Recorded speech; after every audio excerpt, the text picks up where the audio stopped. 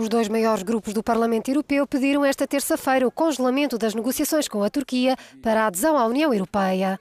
No debate no plenário de Estrasburgo, centro-direita e socialistas contaram ainda com o apoio dos liberais. Guy Verhofstadt disse que pensa que há uma ampla maioria que defende o congelamento das negociações para a adesão neste momento e que seja definida uma série de requisitos para que as negociações possam ser retomadas logo que a Turquia cumpra esses requisitos. Este tipo de iniciativa do Parlamento Europeu não é vinculativo, mas a aprovação da resolução enviaria um importante sinal político. Opinião contrária tem a chefe da diplomacia europeia, dizendo que se as negociações para a adesão fossem suspensas, penso que ambas as partes sairiam a perder.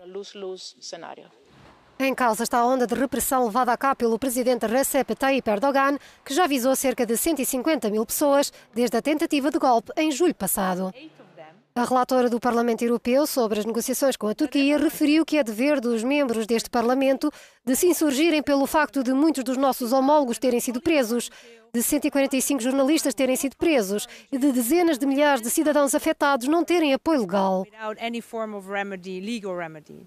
O congelamento das negociações, iniciadas formalmente há 11 anos, poderia colocar em causa o acordo sobre o fluxo de migrantes e refugiados assinado em março passado. Em troca de compensações financeiras, o governo turco tem restringido a passagem em direção aos países da União Europeia.